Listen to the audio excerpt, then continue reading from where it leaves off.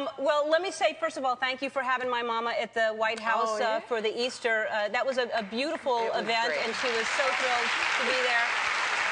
It was great having her. She was terrific. Uh, we even got Bo in there. Bo's there, Tony's there. Tony's there. I gotta good. say, um, my uh, my mama Uh-huh. came back with something that I don't think she should have. and Uh-oh. She was so happy, and she's like, "Look what I took." Oh, and I don't think oh, she no. should have. This is this is not right, is it? That she took. Did, did, Right? did Mama get in the China room? I, somehow, oh, man. that's not right. I, I, I think it's okay. No, she shouldn't have taken that. Well, you know. She, And then there's something else that I think There's is more? There's more.